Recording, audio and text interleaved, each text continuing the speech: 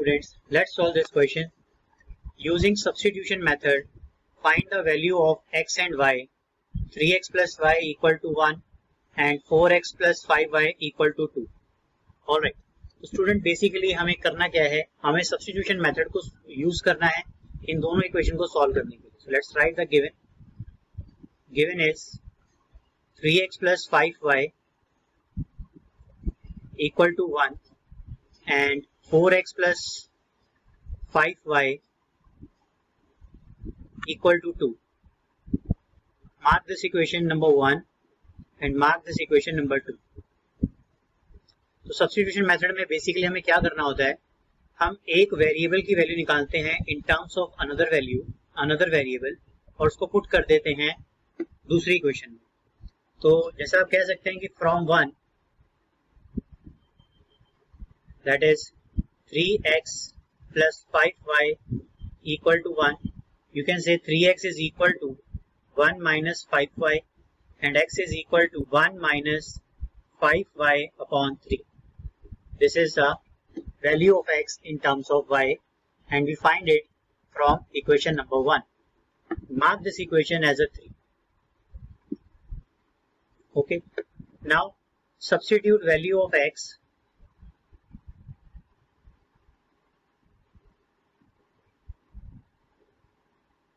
in equation number 2 so you can say second equation is 4x plus 5y equal to 2 put this value, you will get 4, 1 minus 5y upon 2, sorry, upon 3,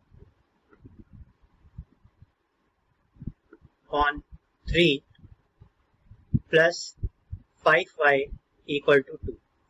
अब देखिए students यहाँ से हमें calculation का बहुत ज़्यादा ध्यान रखना होता है अगर हम कैलकुलेशन में ढंग से नहीं करेंगे तो मिस्टेक हो सकती है वैल्यू गलत आ सकती है। तो देखिए, सबसे पहले हम देखते हैं क्या थ्री और फोर कैंसिल हो सकते हैं, नहीं हो सकते तो आप फोर को अंदर मल्टीप्लाई कीजिए।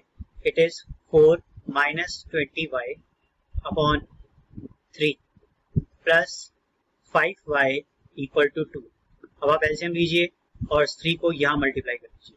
तो four minus twenty y plus fifteen y equal to six three into two that is six four को आप यहाँ शिफ्ट कर दीजिए और यहाँ से वैल्यू आएगी minus of five y equal to six minus four so minus of five y equal to two so y is equal to two upon minus five so y is equal to minus of 2 upon 5 now, put value of y, put value of y in equation number 3. Now just check it out. Which equation number 3 is? Equation number 3 is, you can say x minus 5y upon 3. So we will put this value, value of y in this and we will get the value of x. Alright. So you can say x is equal to 1 minus 5y upon 3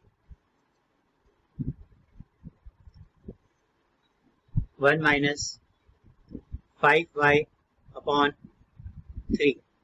Now, 1 minus 5, this is minus 2 upon 5 upon 3. 5 and 5 will get cancelled and from here you will get 1 minus minus 2 upon 3.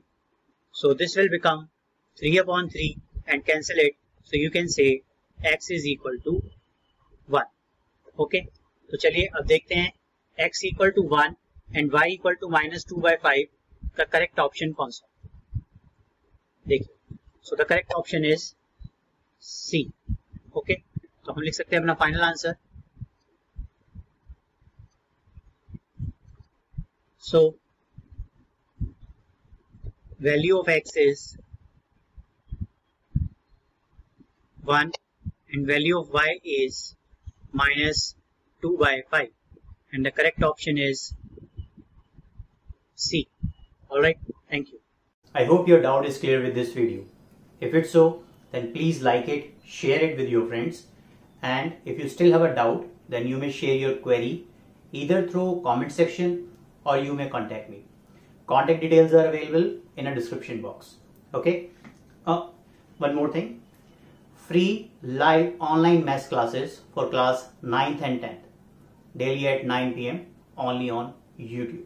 So don't forget it. Join it. See you there. Jai hind